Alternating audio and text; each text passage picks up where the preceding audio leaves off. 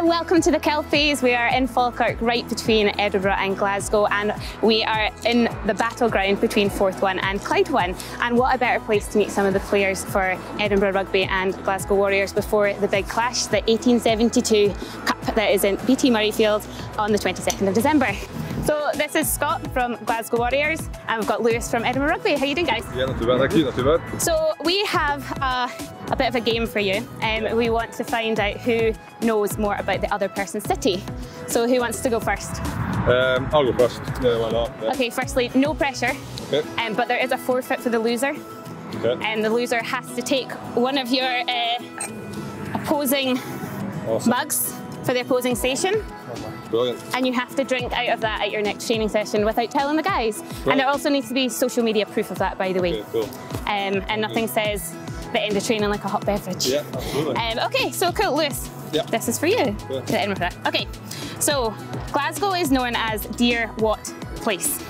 Um, is it green? green? The Yeah, green place? Yeah. Okay, which famous museum did Zaha Hadid design in Glasgow? Um, is it the Riverside? Yeah. Riverside Museum?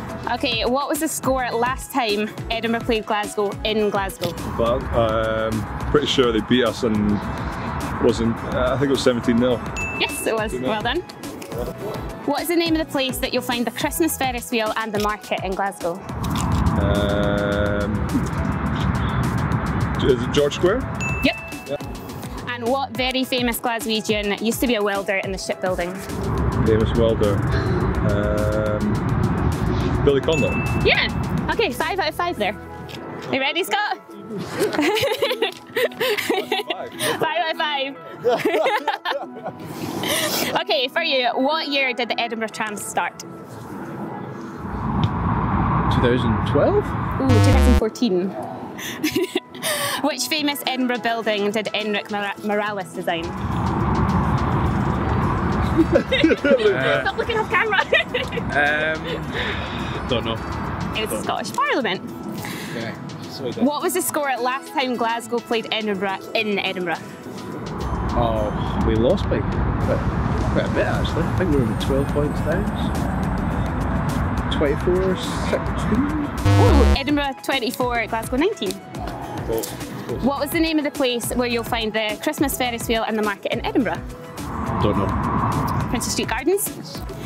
And what a very famous Edinburgh person used to be a milkman? Lewis Carmichael. It was Sean Connery. so I'm not sure my maths isn't that good, but I'll post a great picture. I feel like a nice wee tag. You've got your Forth One mug, and uh, someone can get the kettle one now.